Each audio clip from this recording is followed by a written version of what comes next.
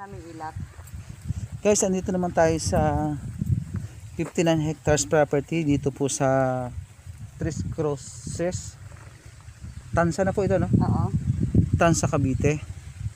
Ito po ay kukunik po sa actually dito pa sa, ah, sa labas po ito ng Cityland property pero ang daan po ay sa Cityland.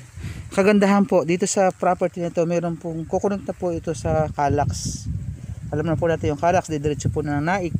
Yan. Yan po, kukunik, kukunik po ito doon. Sa ngayon po, dito po po ang daan sa Cityland, sa may Metro may Metro Gate o Metroville. 59 hectares po ito. Sa murang halaga lang po. 1,500 per square meter po. Yan po. Sa mga interested parties po, ah, lapitan nyo po ako or visit po kayo sa aking website www.bgarealtyhomes.com or just uh, give us private message or call our number.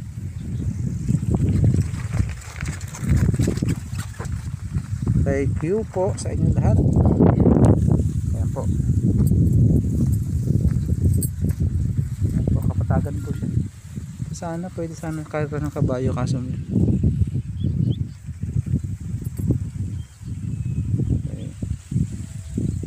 magandang for development.